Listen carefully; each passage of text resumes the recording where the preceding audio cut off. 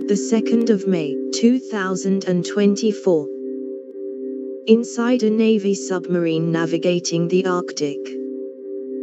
A Times photojournalist embarked on a nuclear-powered attack sub to see how the Pentagon is training for a potential war below the frozen sea.